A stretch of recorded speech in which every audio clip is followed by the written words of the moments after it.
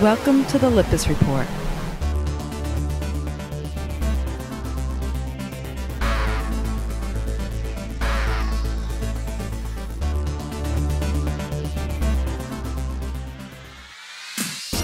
Hi everyone, I'm Nick Lippis. I'm here at Cisco Live with Steve Shalita from NetScout, Vice President of Marketing. Hi Steve, how are you? Good, how's everything, Nick? Excellent, great, Good. very good. Really glad to be here. And um, we're going to be talking about, uh, I think, a really important topic, and it's the transition that's happening in the marketplace from status quo towards open networking and all the open networking technologies that are now starting to flow into the network. And you need to maintain an application performance as you make this transition. So there's no other company that's better positioned than NetScout to like help in answering this question. So NetScout is positioned to monitor traffic across the stack that spans from applications to the network. At the Open Networking User Group, or ONUG Spring, hosted by Citigroup in New York City, IT business leaders discussed how they are transitioning to open networking technologies such as network virtualization or overlays, software-defined WANs and LANs, Linux-based tools to automate the configuration and change management of networking, storage, and servers, OpenStack, white box-based underlays, and much, much more. With no two firms at the same point of transition, what was very clear is that all are in transition. Branch office wide area networking is undergoing a fundamental transition towards software-defined model as represented by Gap Inc., Cigna, JP Morgan, and Pfizer. Data center networking is transitioning toward low-cost white box underlays with network virtualization overlays as discussed by Citigroup and AT&T and many others. But there are a number of software-based overlay technologies that create issues in performance, integration with physical devices, and management across overlay and underlay domains. Most critically, though, overlays focus on virtualizing the network as it is today rather than refocusing on the needs and requirements of applications. They also hinder visibility by separating underlay and overlay environments, creating complexity. Even with these difficulties, overlays are being deployed thanks to the huge demand for VM to VM networking. As the transition to open networking technologies progresses, NetScout seeks to add value by minimizing disruption and preserving excellent user experience by being a bridge between the old and new worlds of open networking.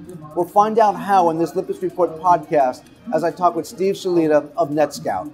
NetScout is positioned to monitor traffic across the stack that spans from applications to networking. How is NetScout positioned to assist IT business leaders as they transition to open networking? That's the first question that I have for Steve. So, Steve, how do you help them? Well, I, I mean, think massive change. We're on the verge of massive change from, from, from a networking perspective, and we've seen you know, a number of transitions happen in, in the industry. John Chambers was talking about it two days ago in, a massive way. You know, NetScout's well positioned because we sit within the network architecture, and regardless of how that architecture changes and layers um, get, get added, we're able to help our customers kind of deal with and meet those those those changes in real time. It's it's a software-based architecture to start with. So what we're doing within our technology is software-based as well. Sure, there's a hardware component that's enabling the, the, the monitoring itself, but what's running it all, our adaptive session intelligence, is software defined. And and so the adaptiveness of that technology will allow our customers and users of our technology to easily change as network changes. The applications, yeah. the services being delivered is really a collection of protocols and applications running in the background and network equipment. As open networking, software defined networking starts to take place and, and we see another set of layers, as you call it, you know, really the, the overlay and the underlay network starting to take hold, you just expand your visibility into each of those areas. The key is to be able to see all that traffic, be able to understand what's happening in the interactions, and ultimately correlate it back into real user sessions, yeah. right? In, into those performance. Yeah, I think you, you, picked up on a really key point, and that is uh, there's a lot of uh, activity around uh, overlays, so like network virtualization, a whole bunch of different controllers entering into the marketplace. Uh, the underlay is going through a transition as well. We've gone from like three tiers to two tier uh, based networking, but the industry is kind of structured around one approach or the other. Um, so either you're an underlay company or you're, or you're an overlay company. And so there's no one really other than NetScout that has been able to now kind of be able to provide views, monitoring of both the overlay and the underlay. So um, can you talk a little bit about like how NetScout is now positioning itself, you know, for providing that total view of, of basically overlay and underlay networking? Right, especially as the network becomes virtualized and we start adding in layers and separating the, the switch cluster and the controller piece and adding a new dimension of control plane in there. You, you know, we're widely deployed on Cisco networks, and, and Cisco networks are, are, a huge, huge part of the market and, and, and the large network environments. But, but we maintain a vendor agnostic kind of position. It really is about leveraging the network as a vantage point as opposed to monitoring the network itself in, in, in a single view, right? The network is a means to the end. And what it gives us access to is the packets which represent these, these conversations or these communications uh, happenings. So by sitting on the network, even if that network gets into six or seven layers, we're able to get visibility because we're looking at that, that network traffic in real time.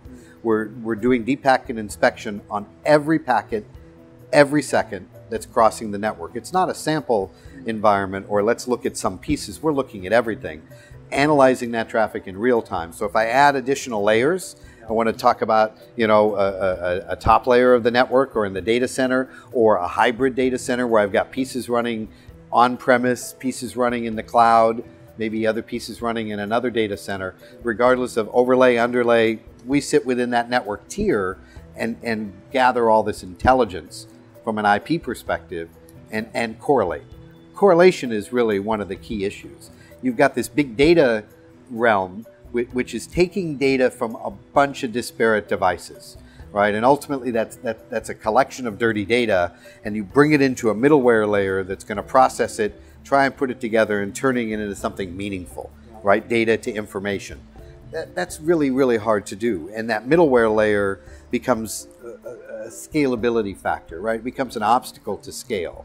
The approach that we've taken is really to distribute that architecture into the appliances, use ASI, which which allows us to do all of this processing in real time, generate very flexible metadata that we can then manipulate and correlate to give you a true end-to-end view, top to bottom, right? From that overlay to the mid-tier to the underlay network and all the application pieces.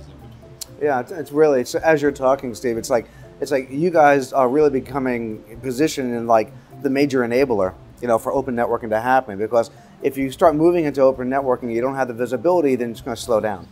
But if you have the visibility from the overlays, the underlays, the virtualization of the networking services, and you can do network analytics uh, on that and monitor, you know, networks, then you're you're basically providing an insurance policy and also a way in which IT architects and the various different silos can manage applications as they transition the network from point A to point B right now. Right. So all of the piece points that that or uh, products that the NetScout has, like what are like maybe one or two key uh, products that we should be really thinking about uh, to help in that transition?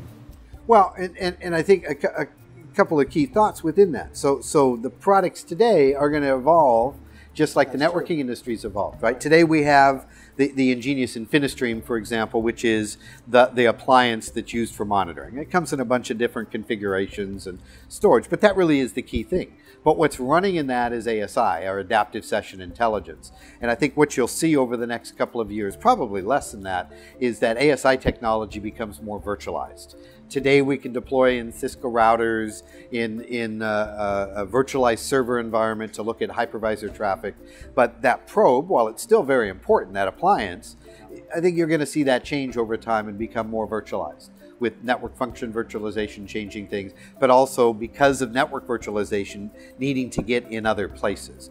That's the key. That's the foundation of a monitoring architecture. Something like our nGenius packet flow switch, the network monitoring switch becomes critical to facilitate connectivity in, into all these different network links, right? There's a whole market, and those are specialized switches. It's not like a Catalyst or a Nexus product that's, that's based upon doing enterprise connectivity. This is very specialized to do monitoring, full-time connectivity, streaming that traffic upstream to security devices and other kinds of, of, of platforms as well.